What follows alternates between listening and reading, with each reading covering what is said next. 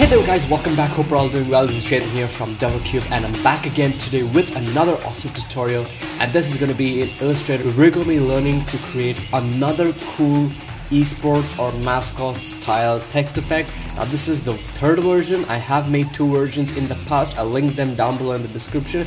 They have been getting a lot of actually a lot of support and a lot of views over the past few months I released it and I thought to create another version to show you a different style of an esports text. So without further ado, let's get started.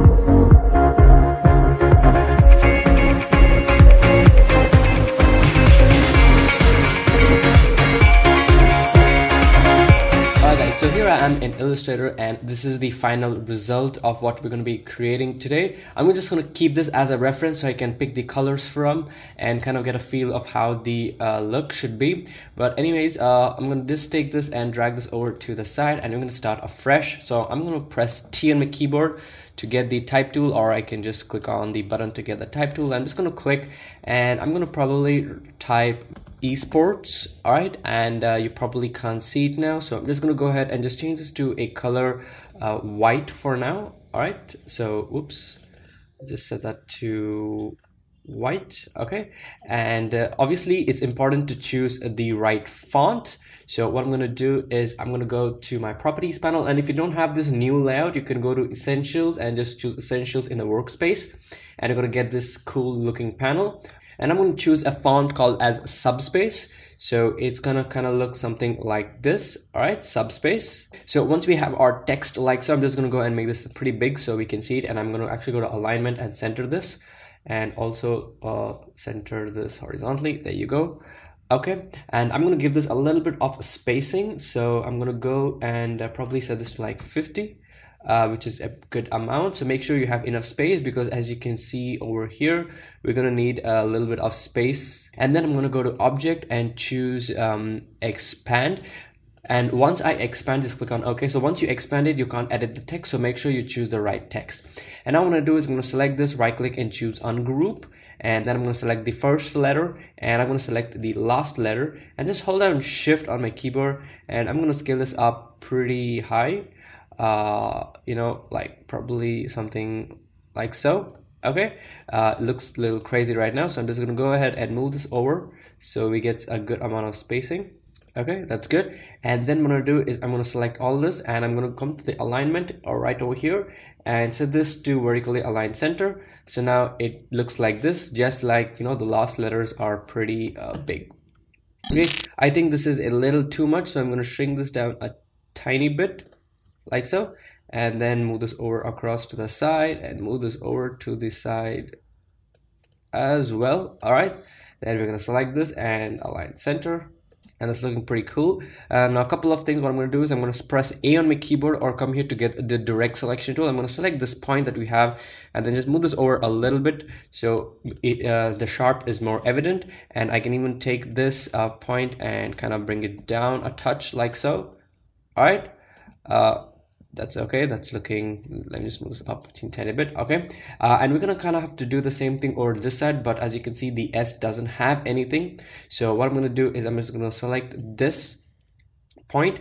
Uh, i'm gonna come over here and then just move it over like so. Okay. And i'm going to select this point press p on my keyboard. And uh, as, as i come on this point you can see a minus a dash line under the anchor point. I'm just going to click on that and that's going to get rid of that point I'm going to select this point with my direct selection tool and I'm going to click on the circle and just create a tiny, you know, uh, like a curve like that. And then what I'm going to do is I'm going to come over here, get my pen tool and I'm going to draw in, uh, hold down shift and then manually draw in a shape like we did uh, for uh, the other letter, right?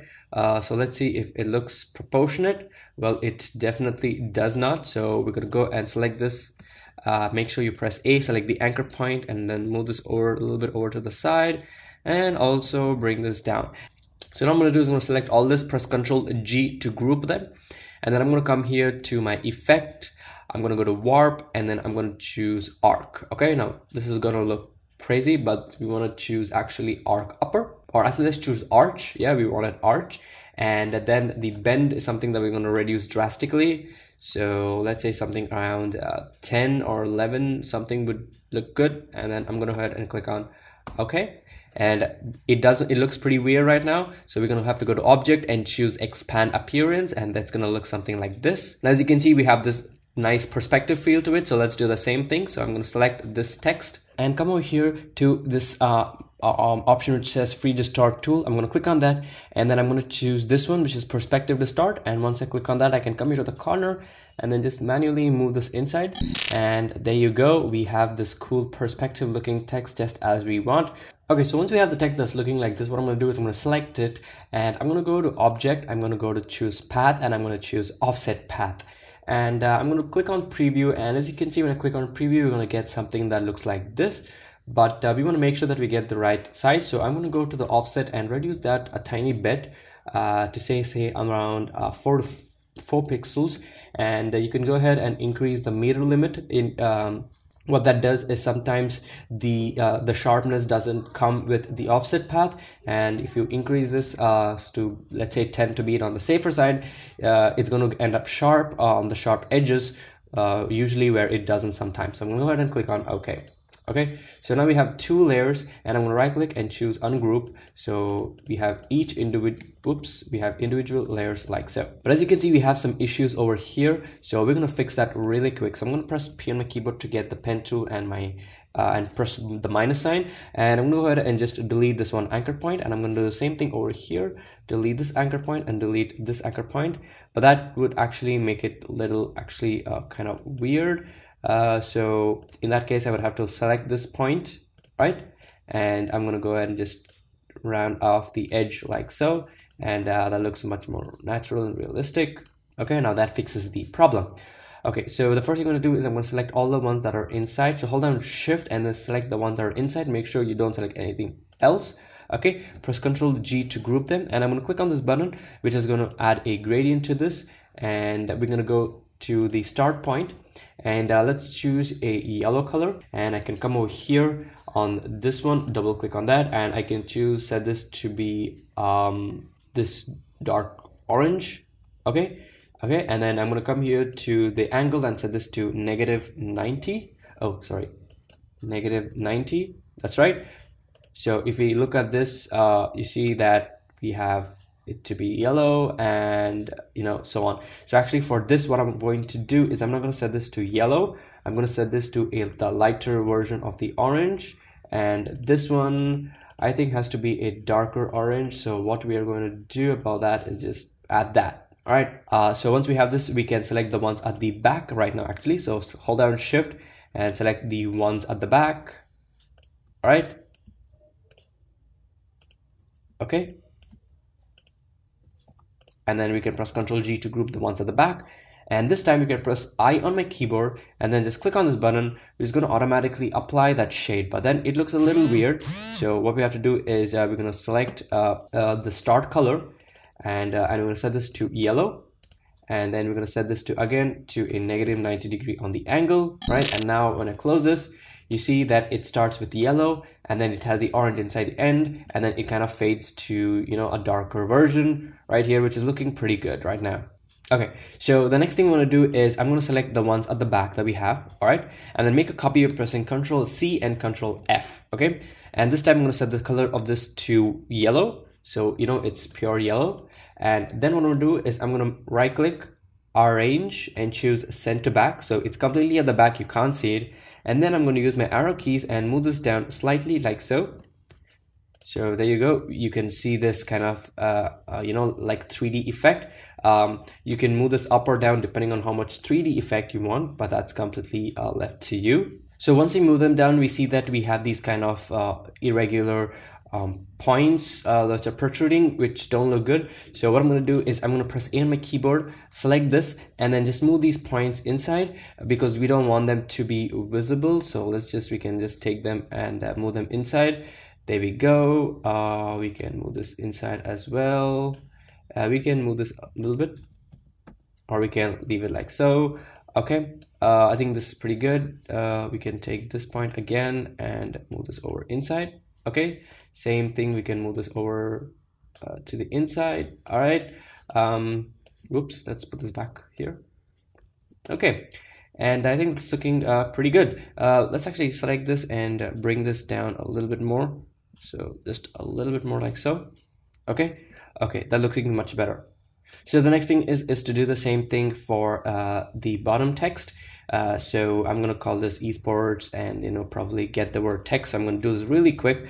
Uh, text all right set this to white okay? And uh, make this as big as you want I guess. Uh, put it in the center uh, like so okay? Let's see how big this is. Yeah it's pretty big okay? Uh, object and choose um, expand. Yeah there we go. Expand then go to effects um, warp and choose arch. There we go. Um, I think I'm gonna set, reduce this down tiny bit to like something like 8 or 7 I guess.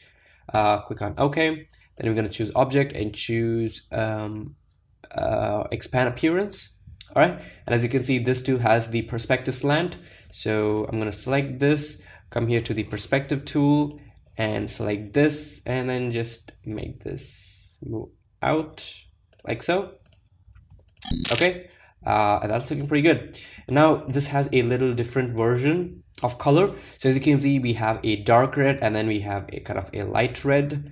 Uh, so what I'm gonna do is I'm gonna select this make a copy uh, sorry let's actually go to object expand uh, sorry path and offset path. Okay and preview of 4 I think let's set it to 3 okay that's good. And right click and choose okay right click and choose ungroup. So let's select the ones on the inside okay? And then let's add in a gradient. But this time uh, this gradient is going to be like a red. And uh, this one is let's actually add in the manual colors directly. So this is going to be like a dark red and right and uh, this one is going to be more of a bright red.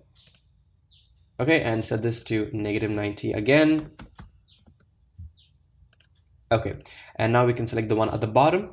Uh, hold down shift and select the ones at the bottom right? And uh, press ctrl G and we can add in a color. So okay double click on that and set this to the redest color that we added okay? And now you can see the same cool uh, shiny effect looking pretty good. So once we have this we're to do something cool. We're to select all this press ctrl G so the entire thing is grouped uh, make sure we align this horizontally and vertically and then make sure that you have the selector and press Control C and Control F. All right. So you press Control C, Control F. We have two copies. Now, without clicking anything else, I want you to click on Unite. So that makes it into one single flat object.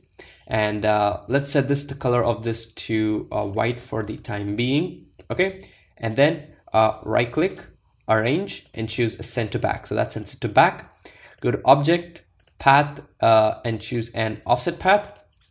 And uh, this time, let's click on Preview we want a pretty big offset path. So let's actually make this uh, say something like 25, 25. I think that looks, let's say, let's go for 30. Okay, 30 is good. Uh, then we can click on OK. And once you click on OK, you want to click on Unite again. And we're going to have something that looks like this. Uh, and then I'm going to just color pick uh, the color from this. So this is like a pretty dark blue. So that's 060023. Oops. Okay. There you go. Um, let's actually let me go ahead and hide the background so we can see it. Oh yeah there we go. And small issues that we're going to fix pretty quickly. Uh, so I'm going to just go ahead and just delete that and uh, delete this as well. And then we can take this point and move this up like so. Okay. That looks much better uh, we have a couple of issues here as well let's just delete a couple of points that we don't want all right so this usually happens because of the wrong choice of font, but you know, that's something that you can do. Just make sure you choose the right font. And here as well, we don't want all these holes. So I'm press P on my keyboard and then just start coming closer and deleting all these points. All right. So now what I'm gonna do, as you can see over here, I have this sharp edge, kind of an arch kind of a thing. So I'm gonna do that right now. So I'm gonna press P on my keyboard to get the pen tool and I'm gonna click over here and then just drag out a line like so. Okay and then we can come over here. All right? And then once we come over here I'm to create this arc. Like so there you go we have the arc and I'm gonna hold on alt on my keyboard and click on this which is gonna go ahead and you know cut that tangent off for me right? Then I'm gonna come over here uh, like so and then come over here and just close this up like so.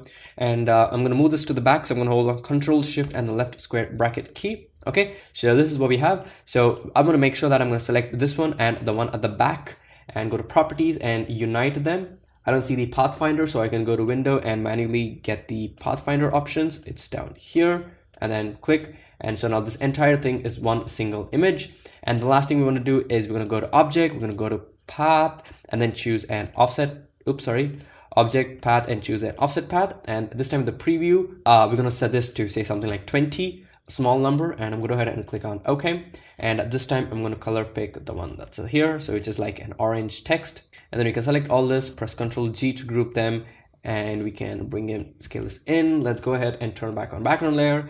And this looks really cool super cool already.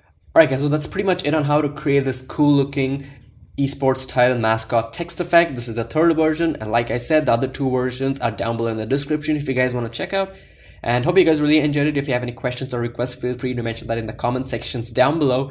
Subscribe to my channel for more amazing content and I will definitely see you guys in my next video. So till then take care and bye bye